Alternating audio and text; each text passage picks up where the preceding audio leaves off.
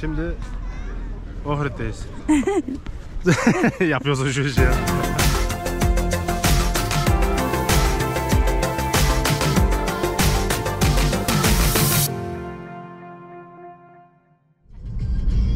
Arkadaşlar selamünaleyküm şey gibi oldu. Ben Derhan gibi oldu. Ee, neydi? Makedonya'dayız. Gece gece değil akşam Akşam saat 7, 7, şu an. suları. Yani yollar bayağı kötü. İki kere 40 dinar, iki kere de 30 dinar verdik. Toplamda 140 dinar verdik. Yani TL olarak şu Yani- iki kurlu 35 lira yapıyor. O civarda bir şey yani anlamadık niye verdik yani şu yollara verilmez yani hani hatta onların bize vermesi lazım bizim yoldan geçiyorsunuz diye. Çok değişik. Gece yolculuğu güzel bir şey yapın tavsiye ederim.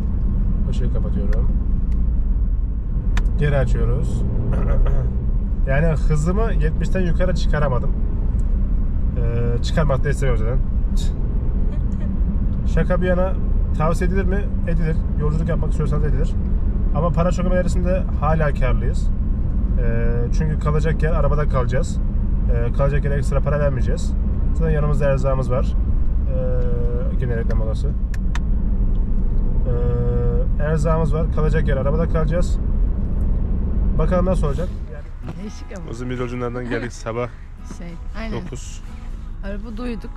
Çünkü artık arabaya verdik, para verdikten sonra. Yani araba kadar para verdik hostel parası kalmadı. Gerek yok. Ama güzelmiş yani biraz saat 9.30 şu anda ona göre kimse yok. Deniz gibi duruyor zaten uzaktan sonra göl olduğunu fark edince daha da böyle değişik geliyor. Bu kentten inci çıkarılıyormuş.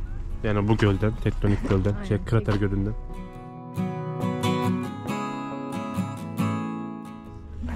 Dünyanın en temiz göllerinden birisiymiş. UNESCO Dünya Mirası listesi- listesine alınmış. Tektonik krater bir göl. Ee, ince çıkıyor. Dünyanın en güzel incileri de buradaymış. Öyle diyorlar. güzel. Makedonya'nın Makedonya'nın incisi Ohrid. şey neydi? İncinin kraliçesi? Hayır. Balkanların kraliçesi Trilleçe.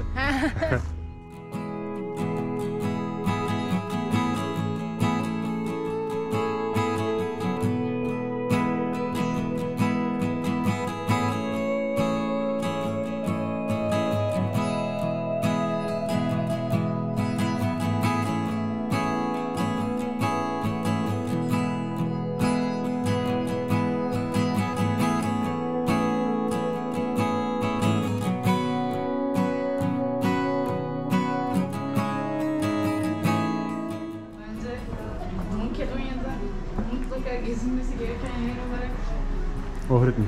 Ohrid. Harbiden şey değil yani. Ee, bence bu tabii. Üsküp değil. Sen Üsküp klasik başkent.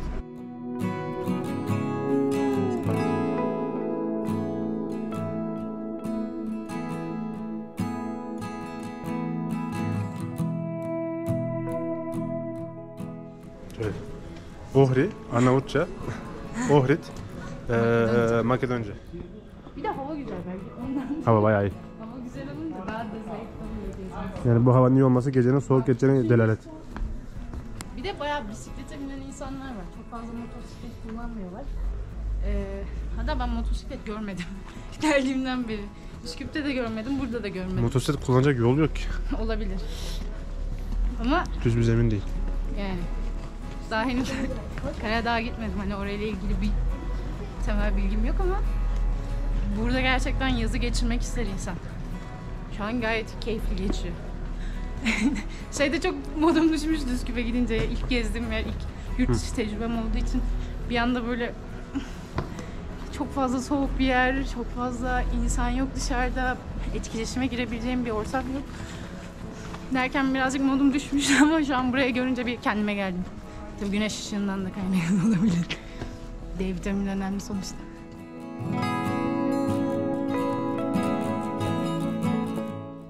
Ya şey de çok güzel ya şurada karlarda dağ var. Şey karlarda dağ.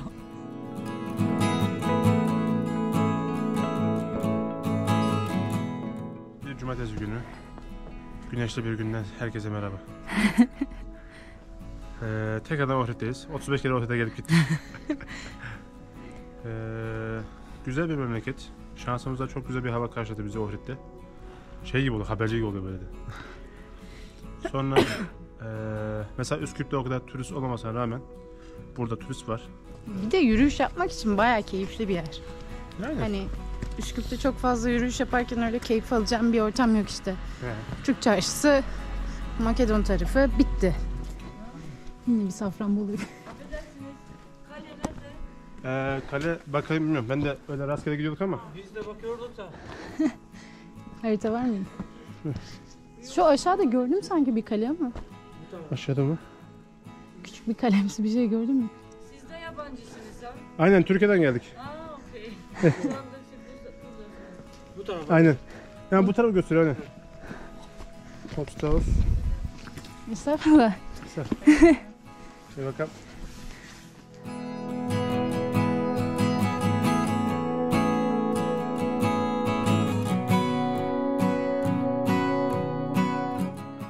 Mesela olay şu. Ee, Avrupa'da tarih turistik bir yere gittiğinizde ee, önünüze bir yazı çıkar, bir metin çıkar. Hiçbir şey olmasa bile İngilizce orayla ilgili bilgi alabilirsiniz. Çünkü internet olmayabilir, bir şey olmayabilir. Bütün turistlere özel bir şeydir bu yani. Hani kendi bir, yani ta yukarıda varmış yazı gibi bir şey. Oraya kim çıkacak şimdi? Ama Makedonya tarafında ya da Balkan tarafında böyle bir şey yok. Yani az önce gördüğünüz üzere bayağı kara toprak gibi duran ama belki 500 yıllık da 1500 yıllık bir tarihi eser böyle.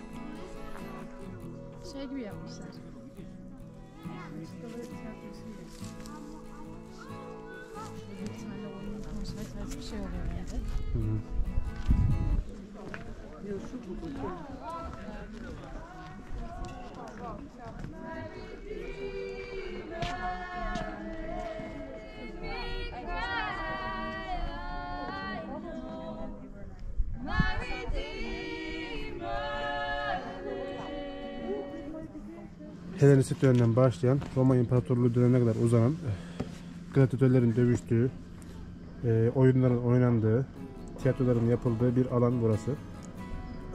Sesim nasıl çıkıyor bilmiyorum. Ama güzel bir ortam. En azından belli bir dokusu korunmuş. Gerçekten Belki zamanda-. Konser monser verebilirler. Manzarası güzel şöyle görebildiğiniz üzere. Direkt Ohrid Gölü manzaralı. Ohrid Antik Tiyatrosu. Ve antik evler de yeni antik evler dediğim normal evler de Yani eski biraz şey. Safranbolu evlerini andırsa da- Aynen Safranbolu evlerine benziyor. Şuradan bile manzara gözüküyor bak. Şöyle bir yerde yaşamak güzel.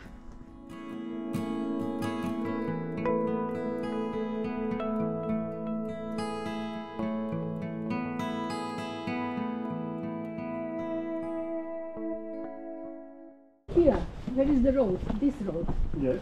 Left, left. Left. Left.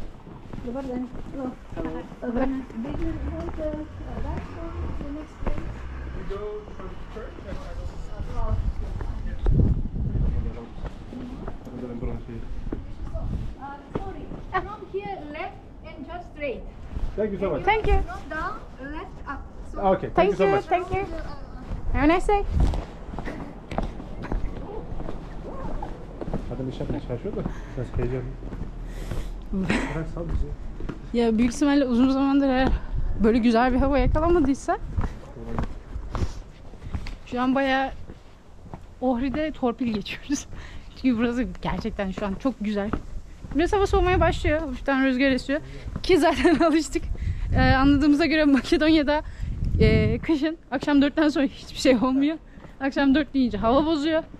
Ee, insanlar eve kapanıyor. Kimse dışarı çıkmıyor. Aynen şu bizim bak bu aynı bu arada. Bayağı bizim köye gidersek göreceği ev tapusu bu. Taş. Çatısı tahta, kapısı böyle. Peki bizim köy dediğin yer neresi? Bak kışla bünyen. Kayseri. Kayseri. Sucuk adam. Ohrid'de ilk önce güzel bir sitenin, e, böyle gözüme kestiğim güzel bir sitenin bahçesine girdik. Orada otoparkta uyuduk. E, araba aldık diye de zengin takılmaya gerek yok. Hani biraz kısalım, biraz harcayalım gibi bir şey oldu aslında. Hani kendimizce bir lüks yaptık. Dedik. Hem de bir de çantalarımız olduğu için biraz Yani- otobüsten otobüse atlamamız hem e, neredeyse bir otobüs kişi başı 11 euro sürekli olarak ikimiz 22 euro vere vere gezecektik. Hem konaklamaya para verecektik hem de çantalarımız bize eziyet olmaya başlayacaktı. Öyle düşünerek araba mantıklı geldi bize. Yani Bütün ama- artıları koyarak. Sırt çantalı gezginseniz Makedonya'da böyle şeyler yapmaya gerek yok. Ya bu kadar artistik Yani. yapmaya gerek yokmuş gerçekten. Eskiden para çok çok güzeldi. Biri 10 veriyordu. Yani pandemi bütün her yerde enflasyonu çoğaltmış. Türkiye'de çoğalttığı gibi. Ee, burada şu an 1'e 4 veriyor. Gece ofise geldiğimizde e, zaten saat geç olmuştu. Dedik yatalım, iyi dinlenelim. Sabahleyin gün yüzüyle e, şeyimizi yaparız. Gezimizi yaparız. E, döndük. O sitenin önünde ceza yememiştik. Döndük. Sabahleyin 9 küsürlerde buraya geldik. Yani- o 5 yani saatlik bir saat zaman, falan, 5-6 beş saat. saatlik bir zaman zarfında ben fark ettim lan dedim acaba fatura koyarlar mı ispark gibi ya da işte fiş koyarlar mı bir şey koyarlar mı diye düşündük. Baktık ki bizim önünde şey var. Tabii Makedonca yazıyor. Çok az bir İngilizce var bir bölümde. Araştır taraştır şunu yap bunu yap derken en son bir tane şeyi buldum. Bu faturada yazan ismi buldum. Başlıkta yazan ismi. Bir cezayla karşılaştık. Ne Heh. olduğunu bir Ha, anlamlandıramadık ceza biz. kağıdıymış bu. Ceza kağıdıymış. Bin, bin dinar. Dinar. Hani Yani bin 24 dinar. saat içinde öderseniz 800 dinar. 800. Sonra nasıl yapacağız derken internetten baktık. Çok bir net bilgi bulamayınca bir tane burada e, Ohrid'deki Türk esnafın, Türkçe bilen bir esnafın yanına gittik. Sağ olsun Evet. o bize cevap verdi. Bunu kendisinin de başına geldiğini öğrenmiş olduk. ödememiz gerektiğini, ödemeden kaçamayacağımızı, yani rentekarcıya yani firmaya e, bağlanacağını falan söyledi ki internetteki araştırmalarımız da bu yöndeydi. E, biz dedik sonra şey olmasın, sorun çıkarmasın. Sonra kendi aracımıza, aracımıza gelmedik, rentekarla geldik ama yine de ne olmaz diye. E, yolda çevirme olursa polis bunun şeyini sorgusu şey yapmasın diye e, öde şeyimizi yaptık. 800 dinar aldık. E, adamla adama euro vermeyin. Dinar varsa dinar verin. Yani Dinar şöyle bozulursa 800 bozdur- şey lira yapın. şu anın kuruyla direkt 15 euro alacak. Üstüne mesela e, çok büyük bir fiyat farkı yoktu aslında. E, Vezne'de bozdurduğumuzda 61'den bozdu. Buradaki adam 60'tan bozacak ama tekrar bize para üstünü kendi kurundan e, dinar olarak verecek. Tekrar o para uğraştırmış olacağız. Bizim zaten artık Makedonya'daki günümüz az kaldı. O yüzden çok fazla dinara ihtiyacımız olmadığı için gerek görmedik. Ama dinar ödemek daha mantıklı genel olarak. Şu anki kurla aşağı yukarı takribi 200 TL geliyor. Ee, yani ucuz bir yerde bir gece kalınabilirdi bu paraya. Ee, Makbuzu kesinlikle alın.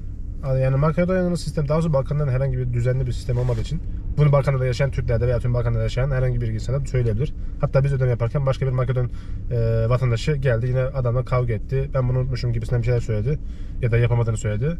Ya da işte Yani- mesaj attın ama karşılığında. Ya bu arada sistemin nasıl çalıştığını onu atladık. Hı. Olay şuymuş. Biz neden ceza yemişiz? Makedonya'da 2018 yılında bir sistem getirmişler. Burada zaten her yerde T-Mobile ya da diğer büyük telekom firmalarını görünce ya bu telekom firmaları niye bu kadar büyük diye düşünmüştük. Ee, anlaşma yapmışlar. SMS gönderiyorsunuz arabanızın plakasıyla bu bölgedeyim diyerek e, telefon faturanıza düşüyor. Böyle şeyler öğrendik tabii. Ee, bir ilk geçişlerde 40-40 ödedik. 40 dinar yerine 1 euro ödeyebilirsiniz dedi. Bu da yaklaşık olarak arada 6 liraya yakın fark yapıyor. Dinar olarak ödemek daha mantıklı. Allah'tan Evet. yanımızda dinar vardı. Sonraki iki geçişte de o 30'ar dinar ödedik. Sonraki durağımız geldik. Bitola Manastır olacak. Oraya giderken bir, ücretli geçiş gözükmüyor ama Üsküp'e doğru giderken iki tane gözüküyor. Ee, zaten maksimum 30 veya 40 alıyorlar. Yani manevi olarak yani duyuş olarak gayet güzel. Yani burası aslında gerçekten Ama şu maddi anki olarak benim Ucuz beklemeyin. Yani şu anda gezinin en güzel yeriydi Ohri. Bence mükemmel bir yer. Hani e, bu eskisi gibi enflasyon olmasa ve işte kız arkadaşınızla, eşinizle beraber güzel bir tatil yapmak isteseniz gayet güzel. Bu gölde çok güzel yüzülür de, çok güzel vakit de geçirilir burada. Ama şu anda burası maalesef ucuz değil. Hatta bizim paramıza göre biraz pahalı. Özellikle- Kafanızda fiyat belirlemesi için, belirmesi için ortalama fiyat şöyle verebilirim. Herhangi bir yerde herhangi bir ucuz çay 5 TL'den başlıyor. Aynen Daha o da ucuzunu zaten göremedik çay yani. değildi bu arada. Aynen. daha ucuzunu o da göremedik. e, Üsküp'te Türk tarafında yani Türk tarafı derken Müslüman tarafında içmiştik. Çay tadı almadım ben. Burada da o fiyatlar yemin yazan vardı ya. Ha 20 ya var mıydı burada? Var var. Ama yine de yani. Bu kadar.